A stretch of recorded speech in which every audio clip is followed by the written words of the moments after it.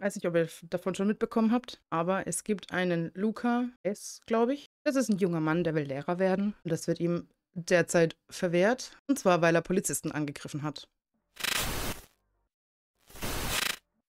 Hier sieht man ein paar Leute, ich weiß nicht, ist es eine Gewerkschaft, oder? Die setzen sich eben für den Luca ein, dass er lehren darf. Das Ganze geht schon ein paar Jahre, weil Luca S. aus Mainz ist zu einer Bewährungsstrafe von sieben Monaten verurteilt, unter anderem wegen Landfriedensbruch. Und das hat eben zur Folge, dass der junge Mann wahrscheinlich nicht Lehrer werden darf. Ja, der 27-jährige Luca S., der möchte Haupt- und Realschullehrer werden und studiert dafür in Hessen auf Lehramt. Und dort wollte er auch sein Referendariat machen, was zur Ausbildung gehört. Allerdings wurde ihm das vom hessischen Kultusministerium untersagt, weil er vorbestraft ist. Da gab es eine Verurteilung Und deshalb ist er für den Lehrerberuf nicht geeignet. Das Prinzip von Aktion und Reaktion hat dieser Mensch nicht verstanden.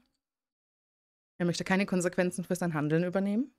Aber was ist denn überhaupt passiert? Also der Luca S. soll Polizisten angegriffen haben. Und zwar auf einer 1. Mai-Demo. Wir wissen ja, 1. Mai-Demos, die verlaufen immer friedlich, da passiert gar nichts. Vor drei Jahren soll Luca S. gezielt einen sogenannten Rauchtopf auf Polizisten geworfen haben. Wegen tätlichen Angriffs und Landfriedensbruchs wurde er damals vom Amtsgericht Frankfurt zu einer Geldstrafe von 90, Tages, 90 Tagessätzen verurteilt und galt somit als vorbestraft. Also ich meine, wenn ein Gericht dich verurteilt, dann verurteilt es dich, weil es Beweise dafür gibt. Wenn es keine Beweise gibt, dann im Zweifel für den Angeklagten wirst du freigesprochen. Das bedeutet, es gab Beweise, und die Wahrscheinlichkeit, dass das war, ist halt eben ziemlich hoch. Das ist dann eigentlich ein Rauchtopf. Eben so Pyro-Ding. Genau da, ah, das Zeug, wo dann bunter Rauch rauskommt. Wir kennen es. Ich kann mir vorstellen, dass es noch ziemlich heiß werden kann. Rauchbombe, genau, ja. Was ist denn der Unterschied zwischen einem Bengalo und einer Rauchbombe? Das ist kein Unterschied, oder? Ah, das ist eine Fackel sogar. Gut. Pyrotechnik gehört ins Stadion. Gehört es wirklich auch ins Stadion? Es nicht nach Silvester. Sowohl die Staatsanwaltschaft als auch der Verteidiger von Luca S. gingen nach dem Urteil in Berufung. Also die Staatsanwaltschaft war von der einen Seite nicht damit zufrieden, weil es zu niedrig war, die Strafe. Und der Verteidiger, ich gehe mal davon aus, das, das Gegenteil, dass der halt eben weniger raushauen wollte. Und das Frankfurter Landgericht bestätigte dann am Mittwoch nicht nur das Urteil des Amtsgerichts, sondern verschärfte es mit einer sieben siebenmonatigen Bewährungsstrafe.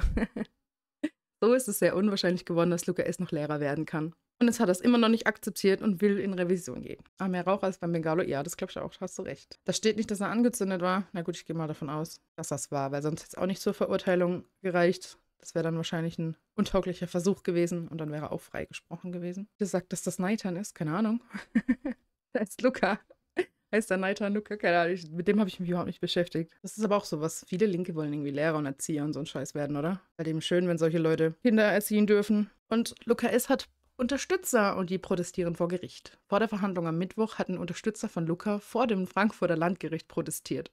Auch Mitglieder der Gewerkschaft Erziehung und Wissenschaft waren daran beteiligt. Ja, Wissenschaft.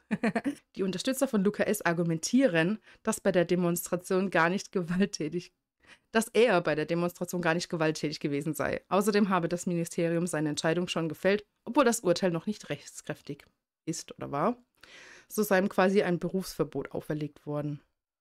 Also hier will man jetzt auf Formfehler anspielen. Und er war ja gar nicht so gewalttätig. Also das Ganze ein bisschen abflachen. Weil deren Müll bei Erwachsenen nicht greift, das kann durchaus sein, ja. Du wolltest auf eine Kleinigkeit hinweisen. Wusstet ihr, dass es in Frankreich neben den drei Gewalten noch eine vierte unabhängige Behörde gibt? Allgemein treten im Amt immer mehr Suizide auf. In Frankreich ging das mit den Polizisten-Suiziden vor Jahren schon los. Okay, haben die da so ein großes Problem damit? Das ist, in Deutschland ist es nicht so, oder? Ja, Lehrer waren mal Base, ne? Das stimmt. In meiner Schulzeit war das noch nicht so, dass hier.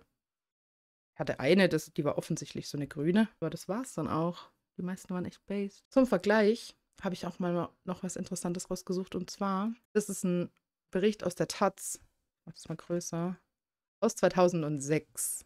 Da gab es ein Berufsverbot für Lehrer. Und zwar hat ein Verwaltungsgericht entschieden, dass ein Pädagoge nicht Lehrer werden darf, weil er sich in einer linksradikalen Antifa-Initiative engagiert. Also der hat sich da nur engagiert, war wahrscheinlich Mitglied, zu Treffen gegangen, was weiß ich.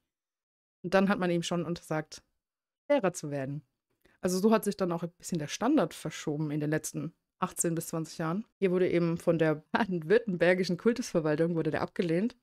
Und zwar, weil er sich antifaschistisch engagiert. Und zwar, weil Zweifel an seiner Verfassungstreue bestünden gibt es dann auch nochmal, was interessant ist auf der rechten Seite. Der Richter hat noch zu ihm gesagt, es bestehe Anlass zur Befürchtung, dass sie im Unterricht ein Bild unseres Staates propagieren und an Schüler weitergeben, das von Seiten des Landes als diskriminierend angesehen wird.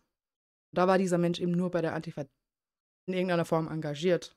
Hier haben wir einer, der Polizisten angegriffen hat, was auch schon mehrfach jetzt festgestellt wurde, beziehungsweise von zwei Gerichten festgestellt wurde, dass er schuldig ist. Wahrscheinlich gibt es ein Video und hat ihn drauf erkannt. War seine Vermummung nicht gut genug? Ich weiß es nicht. Du warst in der Schule noch nicht politisch interessiert, aber so, so rückblickend kann man das doch schon einordnen, oder? Es gab schon Dokus drüber. Ich denke, das wird verschwiegen. Allerdings hat sich der ein oder andere Beamte schon vor den Zug geworfen. Das konnte man nicht abstreiten. Politische Bildung kam nur aus dem Elternhaus, Schule waren immer Fakten. Ja, so ging es mir eigentlich auch, muss ich sagen. Kann mich auch nicht an Framing interessieren. Ich glaube, ich habe es im letzten Stream schon gesagt. Bei uns war es in der Schule so, dass wir halt eben in irgendeiner Form nahegebracht bekommen haben, wie Wahlen funktionieren. Also wie das ganze System funktioniert. Auch Unterschied zwischen Landtagswahl und Bundestagswahlen, Erst- und Zweitstimmen. Solche Dinge eben. Aber wir haben jetzt nicht explizit Teilen unter die Lupe genommen. Was ich auch gut fand gab auch zwei Geschlechter. also es war doch alles irgendwie in Ordnung. So viel zum Thema, ich möchte Lehrer werden, aber ich greife Polizisten an. Das ist keine gute Mischung. Und solche Dinge finde ich gut, weil das zeigt, dass der Rechtsstaat dann doch noch Hebel hat, die er entgegensetzen kann. Ich kann die von den Staatsmedien gehetzten Demonstrationen gegen die Oppositionspartei AfD nicht verstehen. Die AfD ist eine Partei, die die gravierenden Probleme im Land offenlegt und anspricht. Siehe Alice Weidel gestern. Genau. Das sind ja Punkte in ihrer Rede, die das Land an die Wand fahren. Richtig. Wenn euch das Video gefallen hat, dann schaut euch doch gerne auch die anderen Videos auf unserem Kanal an. Wenn ihr euch für den Austausch mit anderen konservativen Personen interessiert, dann schaut gerne auf dem Angerverse Discord-Server vorbei. Und schaut doch gerne mal bei Avocado TV vorbei. Garantiert frei von Hass. Alle Links findet ihr in der Infobox.